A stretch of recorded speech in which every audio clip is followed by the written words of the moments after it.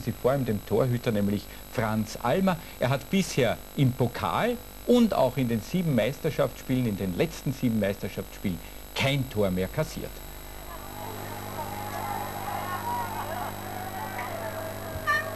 Zu Hause ist die Mannschaft des GRK überhaupt seit 18. September ungeschlagen und diesen stolzen Rekord möchten die Grazer heute auch gegen den Erstdivisionär aufrechterhalten.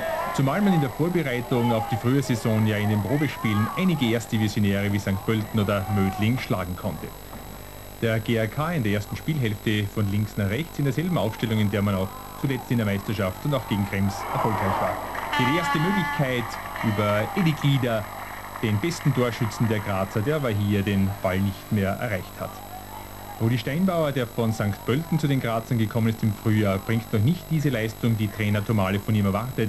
Er soll heute auf der rechten Seite Mittelfeld offensiver sein. Aber dann Fehler, Spielerei in der Abwehr des GAK und die erste Möglichkeit, die sich hier für den flinken Kotzian, der links offensiv im Mittelfeld spielt, ergeben hat. Die Taktik für Steyr, wie in Auswärtsspielen im Cup eigentlich klar, warten, bis man zu Kontermöglichkeiten kommt durch schnelle Passbälle und gleich ein guter Schuss auf der rechten Seite aber von Kapitän Novak am Tor vorbei. Das ist der Trainer von Steyr, Ivan Gudel, war selbst zehn Jahre lang bei Hajduk Split und stand einmal im Europacup-Semifinale. Gegen Tottenham ist man dann ausgeschieden. Er hat seiner Mannschaft heute ein striktes Defensivkonzept mitgegeben und eben dann über die schnellen Stürmer soll der Erfolg gesucht werden. Hier Dubai der als Spitze aufgeboten ist. Sein Ball rollt aber am GAK-Tor vorbei. Auf der linken Seite immer wieder Linemeyer, der versucht das Spiel zu machen. Novak. Ein Foul jetzt, an sich aber ein sehr faires Spiel in der ersten Spielhälfte. Freistoß kurz abgespielt durch Kotzian. Novak hat wieder eine Unsicherheit in der GRK-Abwehr. Möglichkeit für Feric aber er vergibt diese nächste Torchance für Vorwärts Steyr. Auch GRK-Trainer Tomale hat Cup-Erfolge aufzuweisen, gewann in der ehemaligen DDR mit Lok Leipzig zweimal und stand sogar im Europacup-Endspiel, als er gegen Ajax dann mit Lok Leipzig ausgeschieden ist. Jetzt auf der linken Seite Dubaic, wieder Liniemeyer, macht das hier schön und bringt den Ball auch zur Mitte, aber Kopfball jetzt von Felvermeier knapp neben das Tor von Alma.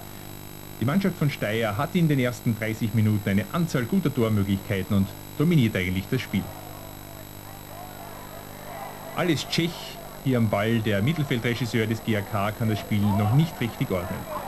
Aber hier nimmt er sich ein Herz zu einem Schuss und das ist das 1 zu 0. Alles Tschech bringt seine Mannschaft in der 39. Minute in Führung stellt eigentlich den Spielverlauf bis dahin auf den Kopf. Ein schöner Schuss aus circa 20 Metern ins lange Eck und Schwarzmüller ist geschlagen. Der GAK führt mit 1 zu 0. 1500 Besucher freuen sich natürlich über diesen Treffer und der GAK spielt jetzt besser, aggressiver. Dampfhofer, Koleschnik, Lieder. Ball ist noch nicht aus der Gefahrenzone, wieder Koleschnik. Das wäre ein tolles Geburtstagsgeschenk gewesen für Koleschnik, der heute 29 Jahre alt geworden ist. Pausenstand 1 zu 0 für den GRK. Und nach dem Seitenwechsel ein anderes Bild, der GRK aggressiver, spielt mit mehr Vorchecking und kommt auch zu Möglichkeiten. Hier, Glied auf der linken Seite. Müsste mit dem linken Fuß schießen, aber es wird ein Heber mit rechts, der über das Tor geht. Aber die Grazer kommen jetzt auch vermehrt zu Tormöglichkeiten. Eckball von links von Vulic. Rainer und Madlena rettet hier auf der Linie. Glück für Vorwärts Steyr. Und gleich der nächste Eckball von rechts, alles Tschech. Vulic. Tschech. Fehler von Schwarzenmüller und Steinbauer. Einige Möglichkeiten zu einer Vorentscheidung bereits jetzt für die Grazer. Es zeigt sich, dass die Abwehr von Vorwärtssteier unter Druck sehr anfällig ist. Dampfhofer, Koleschnik und abermals ein platzierter Schuss, aber am Tor links vorbei. An sich ein Spiel, das sehr fair geführt wird, gar nicht im Cup-Stil. Es gibt nur eine gelbe Karte im Verlauf der 90 Minuten für Vukovic, der hier jetzt zum Ball kommt, alleine vor Alma auftaucht. Aber Alma kann diese Situation klären. Die beste Möglichkeit für Steyr nach der Pause. Vukovic. Und er schießt auf die Beine von Alma. Letzte Möglichkeit für Steyr in der letzten Minute. Kopfball von Kotzian, aber auch der geht daneben. Es bleibt beim 1 0 Sieg des GAK. Und während die Fans über den Aufstieg jubeln, ist man bei Steyr nach dem Spielverlauf vor allem enttäuscht. Wir haben auch die besseren Chancen gehabt überhaupt in den ersten 30 Minuten.